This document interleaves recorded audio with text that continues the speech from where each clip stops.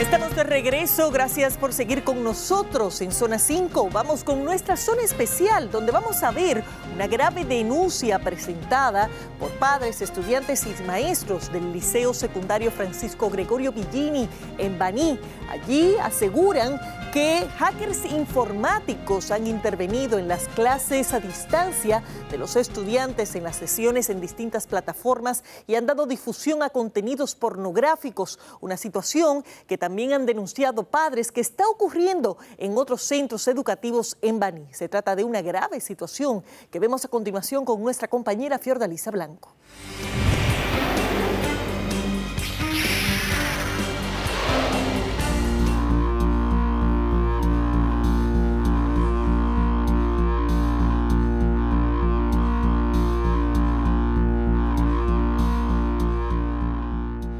Calendario escolar del presente año 2021 se ha visto matizado por la incertidumbre ante la pandemia del COVID-19, por lo que se debió recurrir a las clases virtuales como alternativa de salvación, significando todo un desafío para los docentes, el estudiantado, padres y tutores. Pero este empeño que ha implicado mucho esfuerzo está siendo amenazado por desalmados que realizan ataques cibernéticos enviando contenido pornográfico a grupos virtuales en los que se realizan labores de clases a través de la plataforma conocida como WhatsApp. Es lo que ocurre en el Liceo Secundario Francisco Gregorio Villini, en el municipio de Baní, provincia Peravia. Nosotros, desde el día 10 de febrero, eh, recibimos la información de una de nuestras docentes de que el grupo de WhatsApp con el que ella estaba trabajando con sus alumnos había sido eh, intervenido, había sido hackeado por una persona extraña al grupo. Y eh, lo más grave de todo esto es que ese hackeo se había producido con una carga eh, elevada de contenido pornográfico así como con un texto de lenguaje también sumamente eh, lesivo, eh, abusivo, que alarmó a la maestra y a los muchachos eh, que estaban recibiendo clases en ese momento con ella. José Vicén, director del centro educativo, denuncia que con el transcurrir de los días la situación fue empeorando debido a las incesantes arremetidas. A partir de ahí, la situación se fue agravando y en un término de 10, 12 a 15 días, más de 15 o 20 eh, docentes del centro habían sido ya sus grupos hackeados con el mismo tipo de contenidos. Y cuando los maestros y los compañeros estudiantes les reclamaban y le decían que por qué hacía eso en un grupo de clases, que eso estaba afectando el desempeño de los niños y los maestros también les reclamaban, eh, lo que salía era con palabras insultantes, eh, imágenes insultantes, también pornográficas, y amenazando con sacar eh, de contexto, sacar del WhatsApp a casi todos los docentes del centro. Esta voz autorizada manifiesta que algunos desaprensivos o hackers informáticos, haciéndose valer de artimañas, fue como lograron acceder a estas secciones estudiantiles la persona que lo hacía o que lo ha estado haciendo eh, se hacía pasar en unos momentos por una madre o un tutor de un estudiante pidiéndole el link a uno de los compañeros para ingresar en los grupos y al final de cuentas ha terminado enviando mensajes e intercambiando conversación con algunos de nuestros docentes y estudiantes donde dice que nadie lo agarra, que no hay manera, para acometer sus acciones, los atacantes cibernéticos utilizan distintos números telefónicos. Usa números de códigos locales, usa números de códigos eh, internacionales como desde España, desde Estados Unidos y cualquier otro lugar. Y él dice que a él lo están buscando en todas partes, pero que nadie lo va a conseguir, que nadie lo va a agarrar. Como madre me preocupa, de verdad que me preocupa. La señora Luz Albania Ramírez es madre de un adolescente de 17 años, quien ha sido víctima de este ataque de descarga pornográfica. Me preocupa porque mi hijo estaba cogiendo clase y le entró algo que no era debido. Eso me preocupó y hablé con el director de la escuela. Sterling Jiménez, presidente de la filial Peravia de la Asociación Dominicana de Profesores, también externa su preocupación ante el acoso psicológico que están siendo víctimas nosotros tenemos la preocupación de que esta situación genere en acciones eh, distantes de lo que es la educación,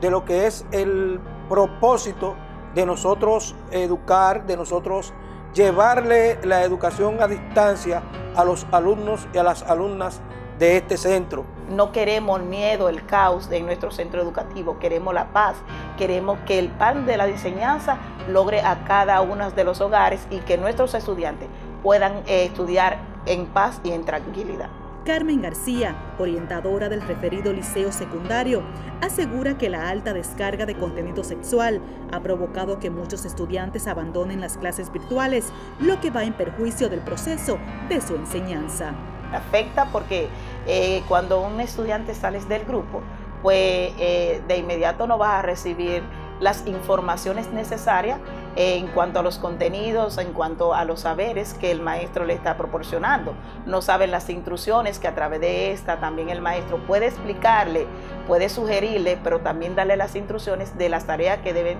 de realizar y esto atrasa a los estudiantes en cuanto al cumplimiento de esta. Porque tuvimos que reiniciar los grupos, se borraron los contenidos que se habían enviado e incluso hemos tomado la decisión de usar más directamente el tema de las plataformas educativas como Google Classroom porque a los estudiantes se les hace más fácil eh, tener el contacto vía WhatsApp que vía plataforma. La ha afectado eh, en el sentido de que los maestros se sienten abrumados, pero no la ha detenido, porque lo que estamos entonces buscando nuevas vías, nuevos mecanismos a través de los cuales seguir trabajando.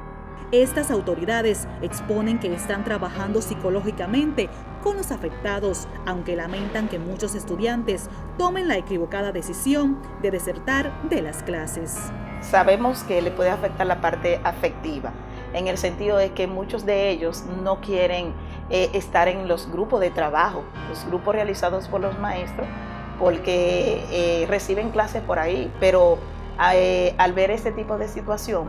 pues ellos lo que hacen es que desertan. Un informe publicado por la organización Save the Children indica que al menos 20.000 estudiantes dominicanos han abandonado las escuelas a causa de la pandemia del coronavirus. Alexandro García Robles, docente, narra que las agresiones no solo afectan las cuentas del centro, también los WhatsApp privados de los maestros. A mí estuvo a punto de hacerlo, pero gracias a Dios tuvimos que configurar el WhatsApp y reiniciar prácticamente todo el sistema. Incluso hemos reformado lo que es la configuración extrema del WhatsApp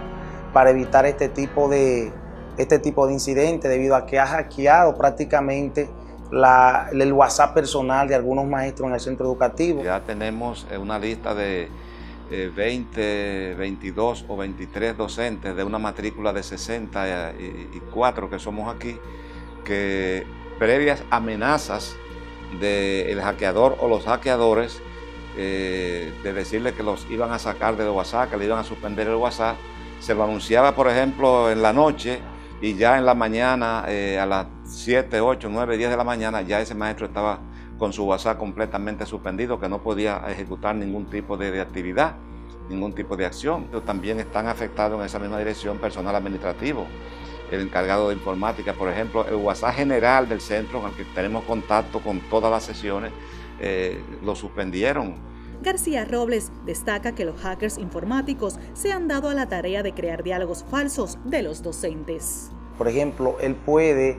establecer como una conversación que parece que yo hablé con él cuando no hablé, incluso hasta toma una imagen. De acuerdo al equipo magisterial, estos ataques cibernéticos se están suscitando en otros centros educativos de la provincia y regiones del país. Hemos recibido informaciones que tanto en provincias como San José de Ocoa, Asua, San Cristóbal,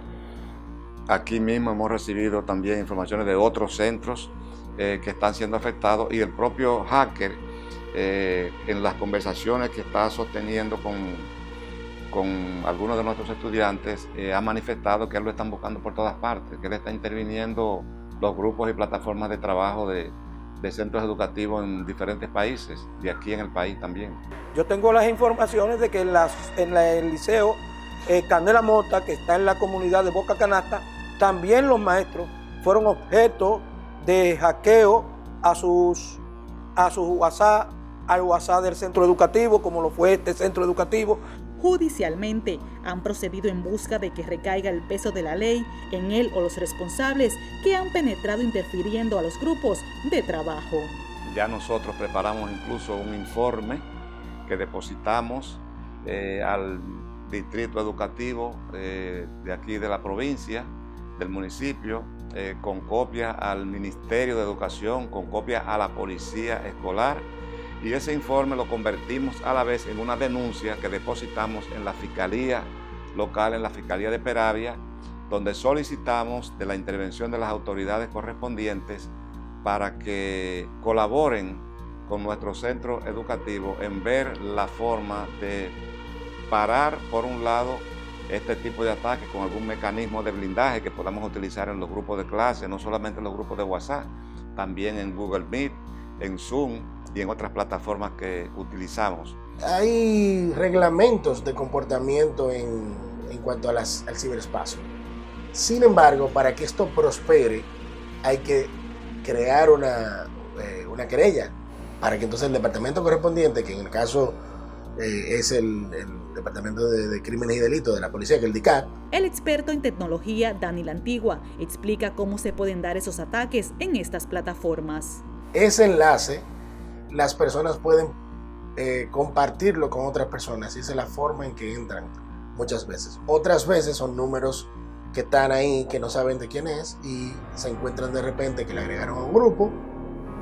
y empiezan a escribir sin saber qué grupo se trata. La vulnerabilidad de WhatsApp va a depender de los actores mismos del grupo. Hay formas de tú controlar quién accede o no